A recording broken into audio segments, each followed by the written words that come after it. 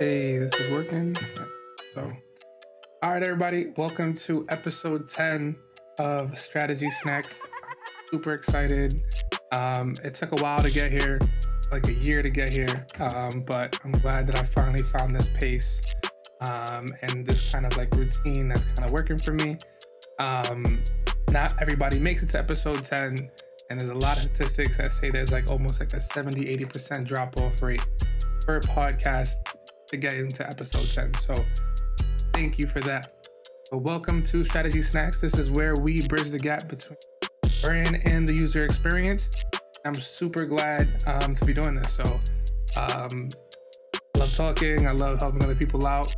Um, and thank you guys. If you're still listening, if you everybody that's checking the podcast uh, for the first time, thank you. Uh, welcome. Uh, for those that have been subscribed for a little bit of time or are just catching up with me, um, welcome. To, I'm just super glad to be uh, be doing this. So thank you guys. So um, update on myself. I am working on a couple side projects myself. Um, so working on a couple design systems, and that has been really, really, really fun. Um, been learning a lot of like building out components, um, how they work together, how they integrate uh, well, and using new technology in order to do so. Um, let me move a little bit closer so that you guys can hear me. Um, so building new components out, um, uh, creating like design systems. I mean, it's it's similar into the sense where um, I used to create like brand style guides and stuff of that nature, and it's just a bit more in depth and complex for this in, in a different direction. It's not necessarily about feel and approach like that's that's still there, but it's more about the uh, the technical portions of an interface. Pardon me. So how these switches and sliders and uh, buttons and um, how these things operate and work not on mobile and in web and, and that's been pretty fun um, so I'm, I'm really excited to be working on these new design systems um, so yes uh, i'm really excited because of xd and figma updates coming out and we're going to talk about that shortly um, xd and figma have some amazing amazing like extremely amazing updates um, so if you do not know what adobe xd is it's adobe uh, experience design. That's like the pink pinkish app. Um, it's similar to Illustrator. Um, you can't necessarily Photoshop people in the, in the, program. That's not what it's made for necessarily. Um, but it works similar to Figma uh, in that sense. But they have different uh, tools, different skill sets, different ways of approaching problems. And however you decide to think as a designer, a UI designer, UX designer, um, creating interactions or prototypes, right?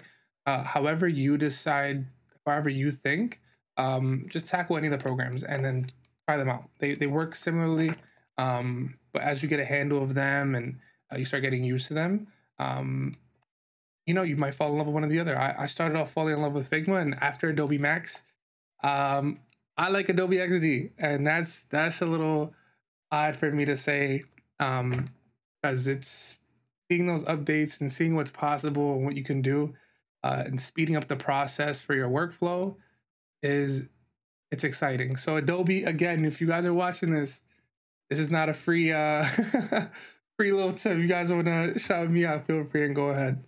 Um so yeah, so recently these past three days, I was waiting to release this episode um and talk on this because I wanted Adobe Max to finish. So thank goodness, um, well, not really thank goodness, but it was free this year it's typically an expensive kind of like three day, like all day global like kind of presentation, right? Like a a huge keynote, like three day kind of like sessions of multiple programs and giving like um, professional uh, tips and advice from people out in the field and um, a lot of known names uh, were talking and being presented. Um, so if you guys don't know what that is, feel free to check out Adobe Max. I've been tweeting that on my social media accounts. Um, if you don't follow me, follow me on Sean underscore Marcano or follow the podcast at Strat Snacks Pod on Twitter um, to continue some of this conversation. But um, Adobe Max is an, an amazing, amazing presentation. It's kind of my, it's one of my first ones. I heard a lot about them before, like people presenting them and talking about it and tweeting about it, but I just could never like you know afford to go there. Um, and I'm just really glad that it was like free this year. Um, the reason why it was free is because of COVID. Obviously, uh, people can't like congregate and be near each other, and you know, given that kind of like global situation, it was a really, really amazing event. Um, let's jump right into it. So, um, I want to before actually before we jump into that, I want to give a shout out to uh, Where Are the Black Designers? It is a community um, I joined recently via Slack, and I don't know if I spoke about this in the previous po- previous episode, but I'm really excited. I'm really glad that I'm part of this uh, community. Like we're watching the the episode uh, of the Adobe Max sessions, um, kind of like all day. Drink some of this. Oh my god, thirsty as hell. Um.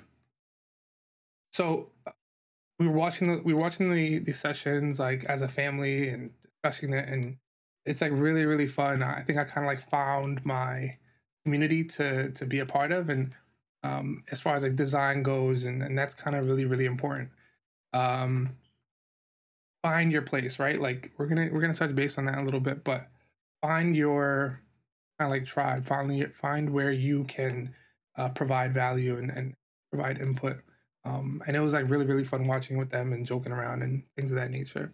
So Adobe Max did something really, really dope this year. Give a big, big highlight to hip hop in New York City. And I'm I'm I'm a hip hop head. Like I love music. Um, so those who do know me, they they do know that. But if you don't know, I love rap, I love hip hop, I love R and B. Um, and they gave like a long session uh, to like Rakim and him rapping, and they closed out. They opened up the show with him, and they closed out the show with him. so that was really really cool to see, um, and showed a lot a lot of love, um, and it made sense, right? Like hip hop is sort of this epitome of like art. It's it's an expressive, it's a huge artistic expression. They were showing statistics.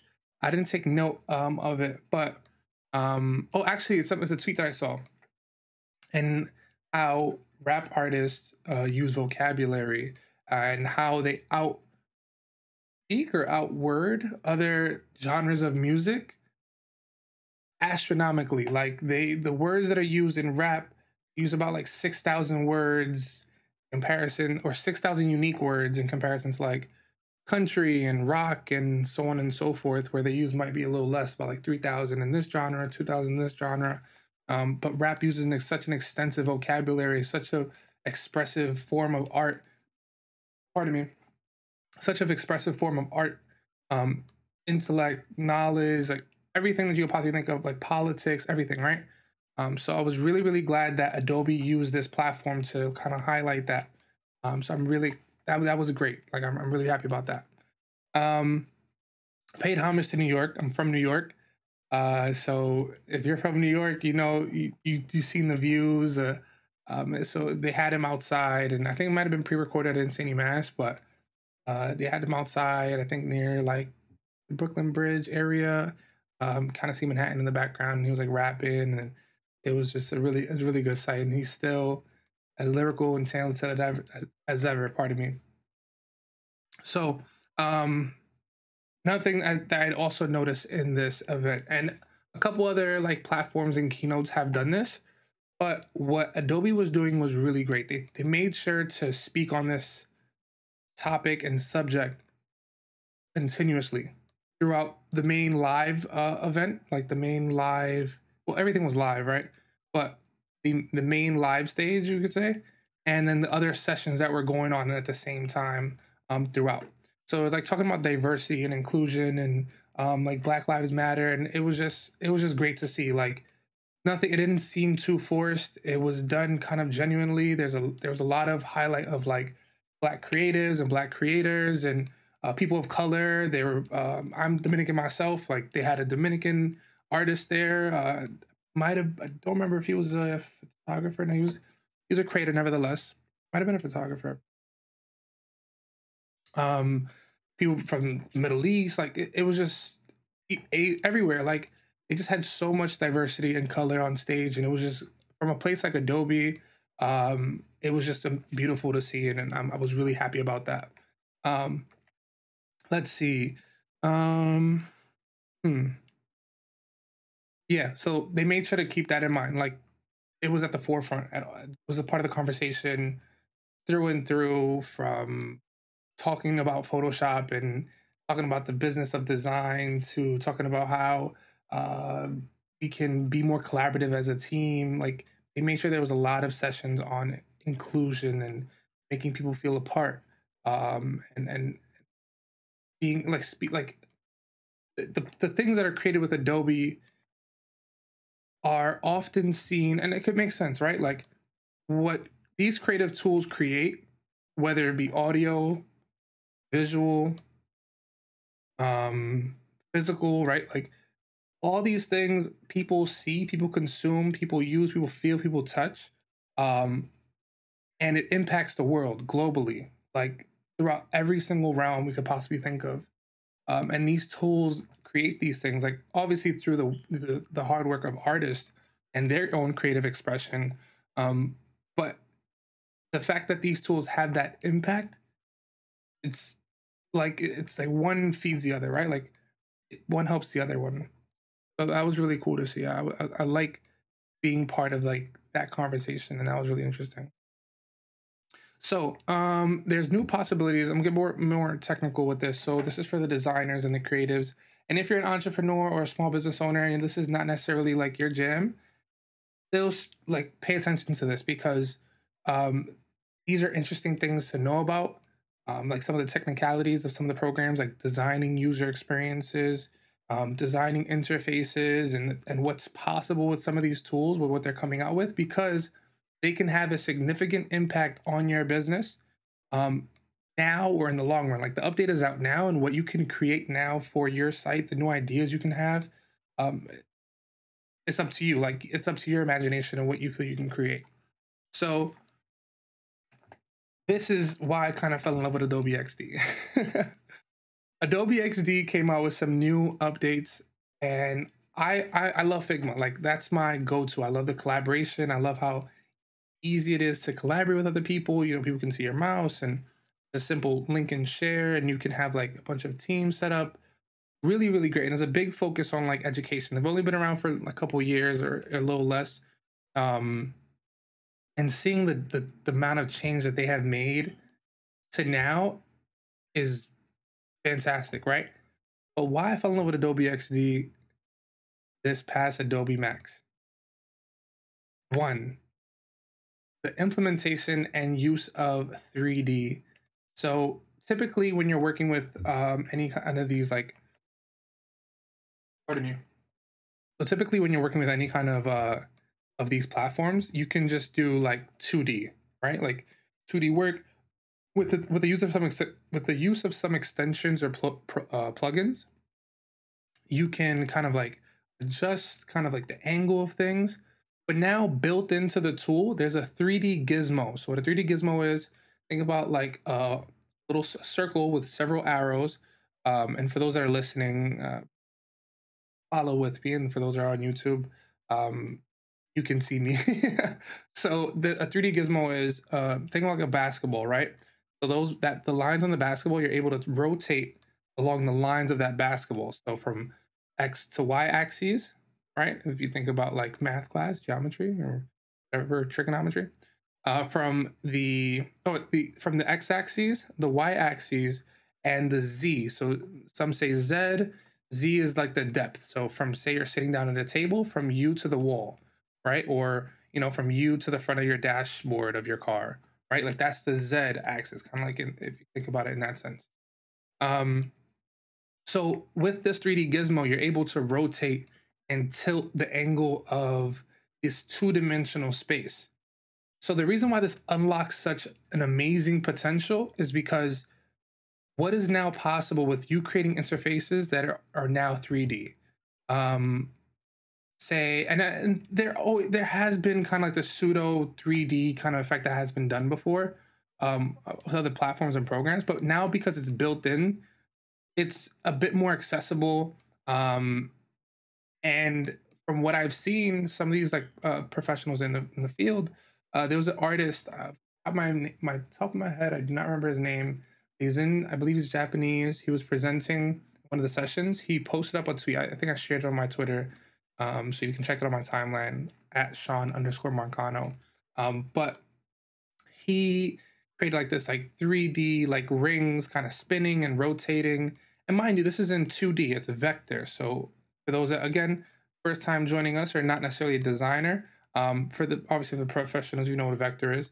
But for those that are just joining, vector is basically how you create or the a shape um, or shapes that are created by points and math and math, and math, right?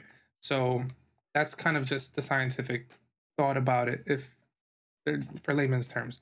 But these rings are like vector, and you can resize them and shape them, and they don't lose kind of any kind of value, uh, any kind of like um, resolution because you can scale them and reduce them because they're mathematic. They're, they're they're math. They're made from math, like different points, vector points.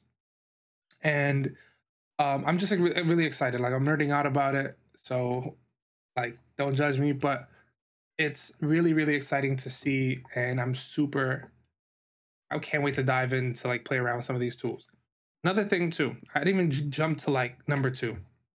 Number two um, I got to learn about some of the new like co-editing features that they have, which they might have done it. They might have had it before, but um, I learned about it in this Adobe Max uh, presentation, which was really really cool to see.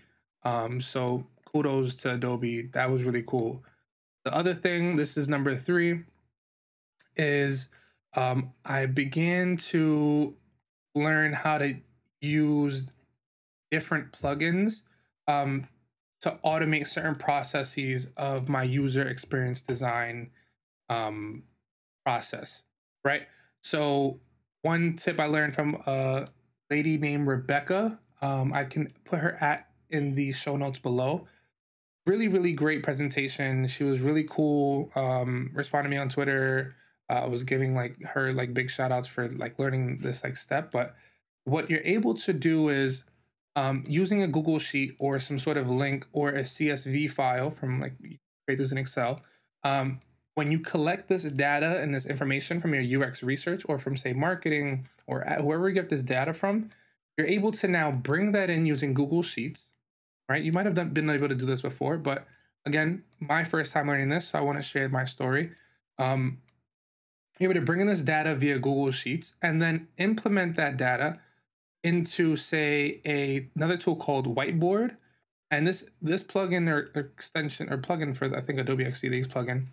Um, with Whiteboard, you're able to create a bunch of different like template templatized um, type of like UX design um, tools, like creating like boards and sticky notes and stuff of that nature. And so you can create a huge board of sticky notes that all are the same using the auto grid feature or the auto grid um, button in the top right.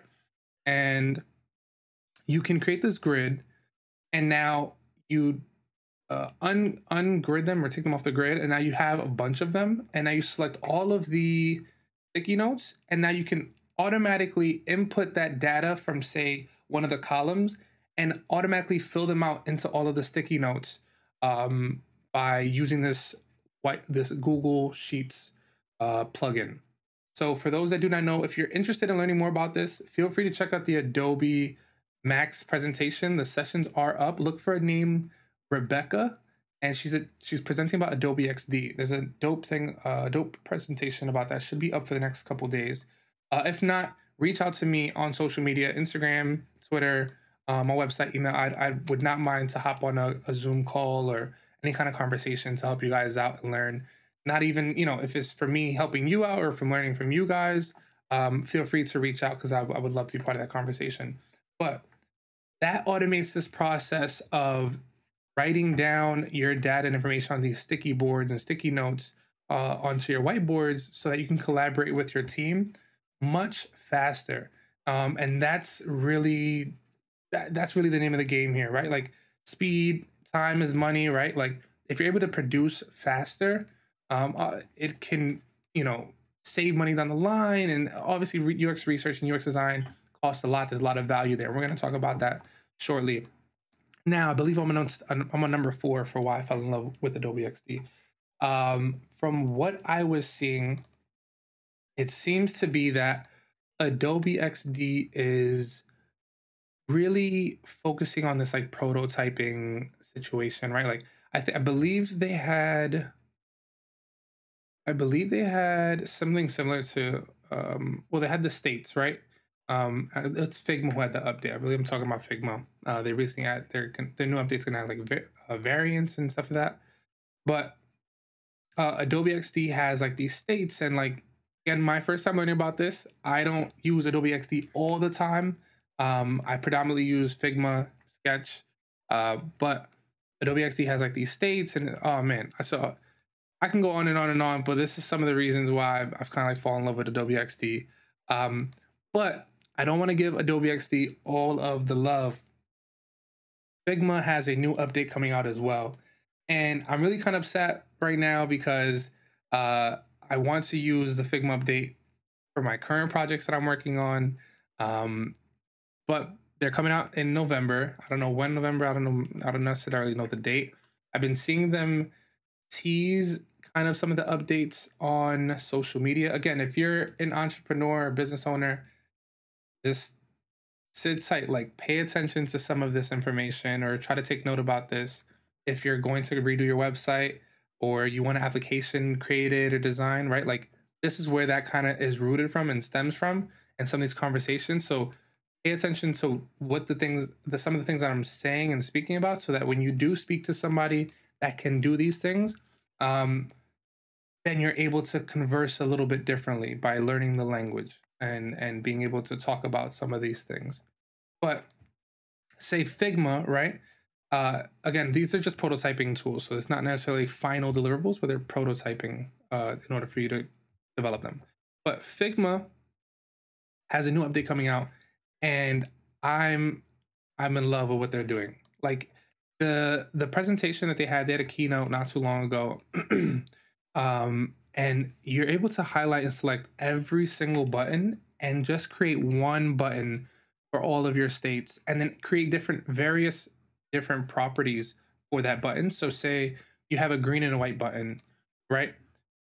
Just on the side of the UI, you can just switch color or icon and they, that can be a switch. So you can enable your icon um, instead of having to scroll through your assets uh, panel for like, okay, which is the button with the but, which is the button with the icon, or which is the button with the two icons, but it's green, or I need this one with the the blue outline, right? Like, it it is gonna help automate some of this process. The next thing, why I'm really, really, really, really, really ex- extremely looking forward to this next update from Figma, is because they have this new um, prototyping tool in which instead of you creating 50, 60 different boards just to prototype just a simple couple switches or menu options, right?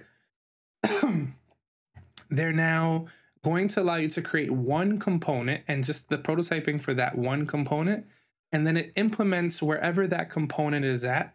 So say you have a switch on your on your mobile design, right? Like using one of the switches where you can slide off and on. Like the, if for those that do not know, in your settings option in your iPhone, there's that little uh, oval pill looking thing with a circle in it, and you tap it and it goes to the left. You tap it, it goes to the right. That's a switch. Um, so now one of the the things they presented on was you create all the animations for it. So when you tap the switch, it goes to this state. When you tap the switch from that state, it goes back to this state, and so on and so forth. Um, and what you can do is you make that one animation and it applies to everywhere else that that animation is at on that page. And that is amazing. That'll save so much time. And because you're able to do these things from what they're stating, is that you'll be able to operate and conserve memory by up to 2000%. If you're saving memory up to 2000%, I think it might have been up to or like 2000%. I think that you gotta say up to, right? Because it's like legal legalities and stuff like that, right? I think up to like 2000% is what they were claiming that you can save on your memory. But if you can do that, it just helps speed up the process, right? Like speed is the name of the game. And it doesn't mean to sacrifice any kind of quality. Um, speaking about quality, Brian Collins again an amazing uh CEO, CDO, creative director, right? Um, again, did an amazing uh, uh, presentation on Twitch's rebrand in Adobe Max. So if you're interested in that, I I stream myself, um, and I use Twitch for several several years, and seeing their transition in their brand has been really amazing. It's been really great.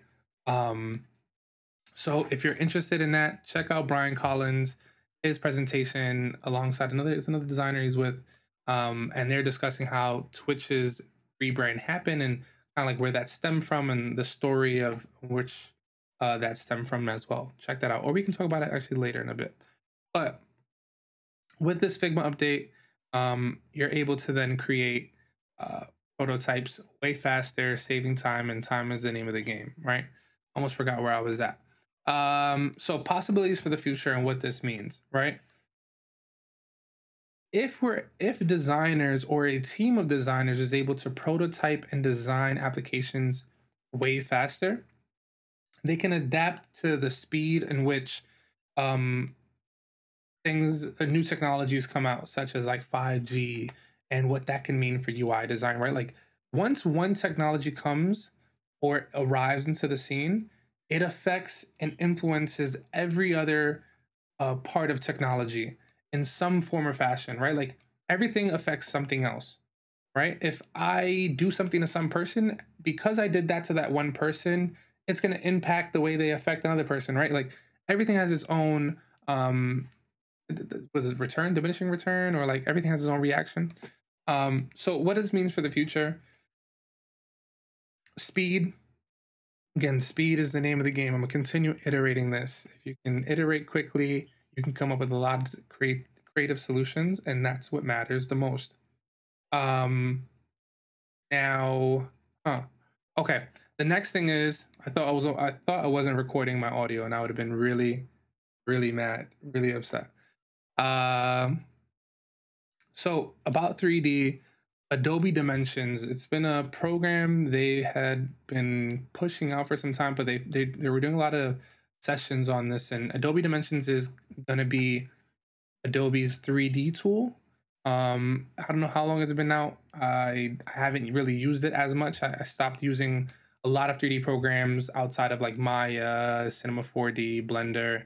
Um, but I want to dive into Adobe Dimensions because the possibilities that it has with integrating to Photoshop or to XD and creating 3D assets and imagery.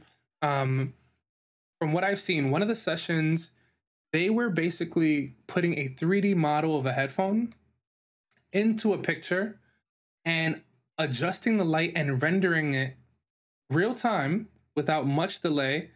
And it would adapt to the lighting of the scene so if I put, uh, if you're on YouTube, check out YouTube so you can understand what I'm saying. But I have this um, soda can here, right? I don't want to show the brand. But if I have this soda can here, right? And because I have purple lights coming in here, let's say it's a 3D model of a soda can, right? Because obviously it's real life. But I have a 3D model of a soda can. And if I put it inside this room where I have this purple light coming from here, I have a white light coming from my right side. Um, now, when I put it into this scene, I can there's like a button you press or something like that from what I was looking in the session, and you can then adjust some of the lights. You can put in your own lights, and then you you like render it, and it'll begin to adapt to the scene of the lights. So what he did was he put a pair of headphones on like a studio table. He had a blue light coming from the back or back right. Uh, he had an orange light coming from the front left, I believe, and it changed the colors of something so so dynamic of a shape, right, of a pair of headphones, it began to color the interior part of the top, like the the part you put it, you rest on your head, and it changed the color of that the headphones there in orange. It changed the side of the headphones in blue. It added the orange to some portions and, and crevices of the 3D model, and that is just such a powerful tool. And it's just a matter of pressing several buttons to get that right. Obviously, it takes some skill to create some of the 3D models and some of that stuff, right? there's some skill set there that has to be applied, but the possibilities are endless in what you can do. If you are selling any kind of product and you want to put it into some sort of scene, um, and you want to, you know, find create this 3D model in on, on your on your computer, so on and so forth, and you and you have this, you can put it into a scene, some sort of picture in Paris, and it'll adapt to that scene um, with some of like the this this feature that they have in Adobe Dimensions. So if you are a creator, if you're a designer, entrepreneur, 3D modeler, photographer, check this out. Uh, I don't know why my computer went. Okay, there we go. Um, if you are, check that out um, and give it a try. Again, the possibilities endless, and it's the name of the game is speed. So make sure you you apply this. Um, so another big thing I started to notice was there was a big focus on the iPad. Uh, what does that mean? So from what it seems like, it's that there's a bunch of applications being pushed from Adobe onto the iPad. So there's Illustrator on iPad, I believe, if I'm mistaken. Let's check that out. Let me just confirm. Um, iPad Adobe apps. So they have, okay. So Adobe has the iPhone app, so they're they're pushing uh, Adobe Reader, uh, Photoshop Express. Um, they're pushing another type of Photoshop, Adobe Lightroom, um, Adobe Illustrator Draw, which they seem to revamp on the iPad as well, and uh, I believe on mobile. I'm personally not a fan. I just can't get into it, but um, Adobe Fill and Sign, which they spoke about a lot, how you can automate some of this, like signing out paperwork and doing some of this accounting kind of stuff um, with their Adobe Sign tool uh, and sending out contracts and all that kind of fun stuff. Uh, so what else?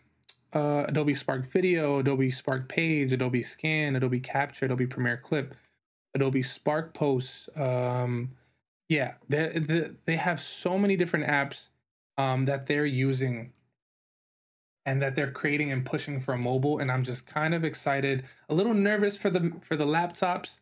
There's still a place there i think for them but the more powerful that these tools get these mobile computers that we have these mobile phones ipads and and such these tablets the more powerful they get i'm a little nervous to see where the laptop goes. Um will they still be here? Will there be another iteration? Will there be a some sort of like I, honestly, I don't know. I, I, really don't know what what's the plan for laptops. Um, if I can get the same kind of result and work, maybe quicker, if not faster than I would on a laptop because of the ability to be able to draw and use my hand on a a touchscreen device, right?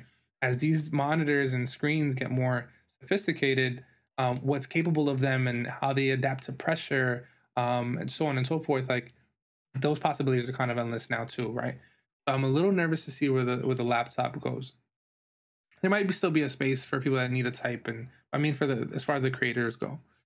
Um, so this is sort of like leaning some of the clothes. So, um, advice for my entrepreneurs because this and these times are a little rough. Uh, not a little, but really, really, really rough. Um, there's so much going on with the world, and I want to like bring light to that. Uh, if if you're dealing or facing with any kind of um, issues, if you have family members that are dealing with any kind of issues, um, feel free to reach out. Uh, uh, open to listen and to talk and and and uh, hear you out. Um, I just know every people need each other more now than ever, um, and so that's really really important. So if you know somebody be there for them, speak to them, reach out, just you know, check in. How are you doing? Like, how's everything? Um, it's I don't want to get too much into politics, into right. There's not the channel for that, but be there for one another. All right. Um, again, so my advice for entrepreneurs: this is really big. Uh, again, how are you fostering diversity and inclusion in your workspace? If you're starting up a business, if you have a business already, if you are a startup, if you're an entrepreneur, right?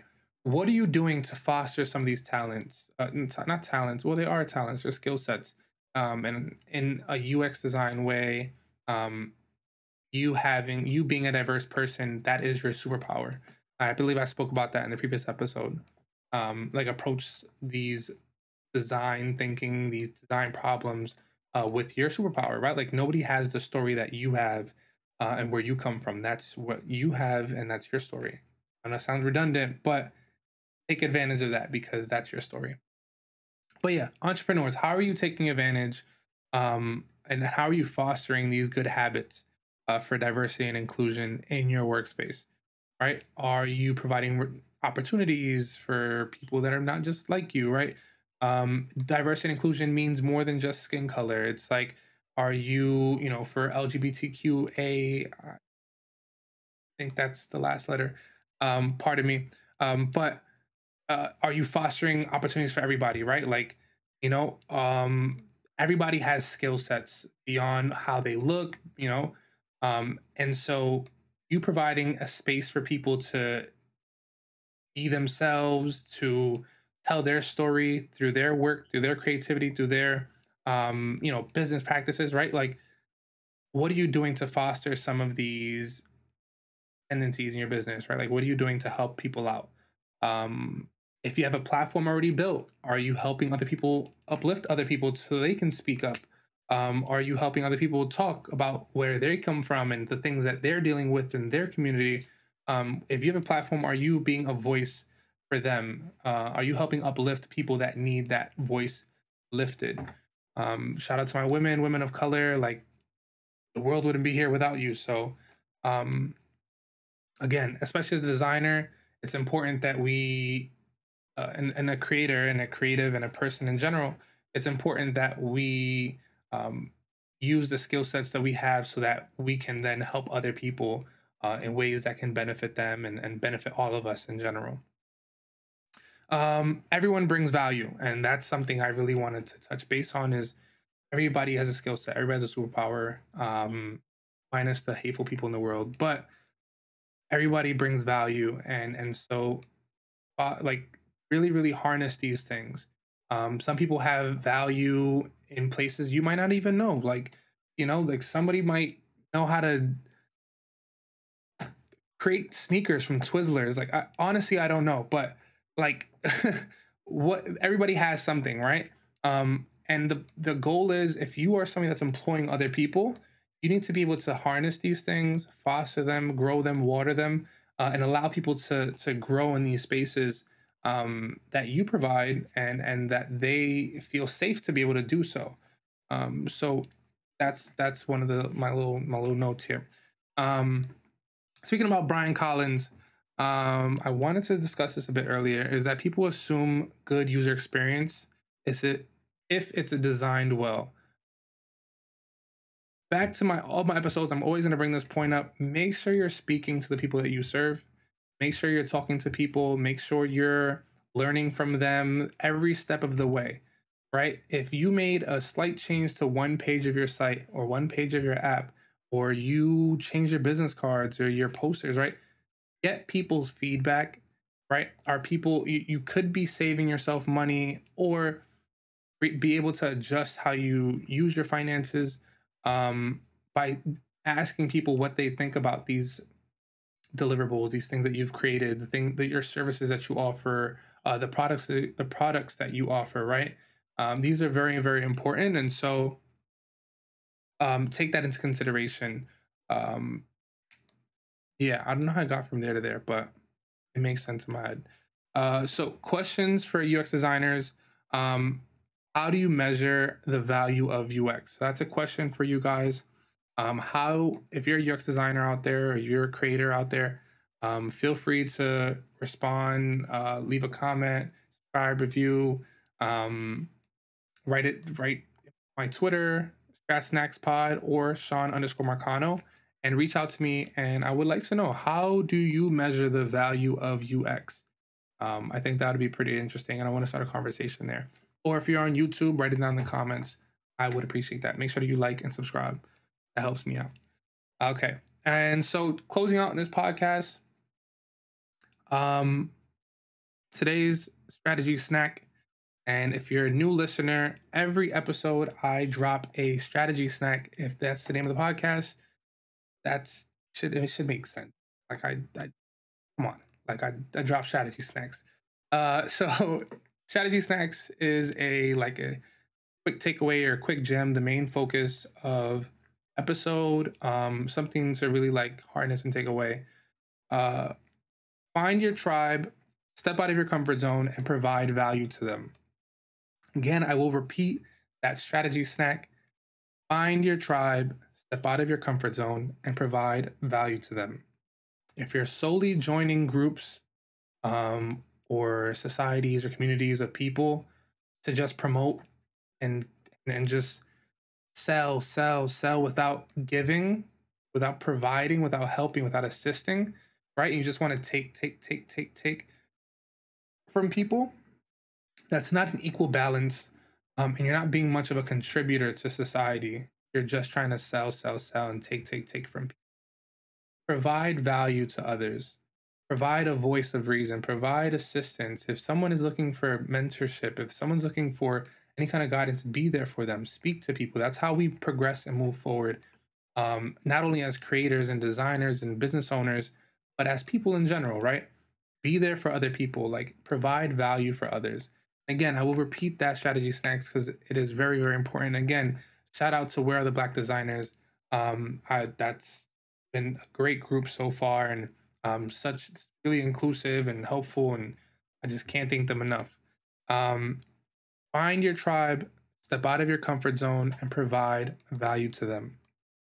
I want to thank you guys for listening all the way through the strategy snacks. This is episode 10. I'm really, really happy um, we broke that milestone. I'm actually look up right here um, how many podcasts get to episode 10. I don't know statistics. Uh,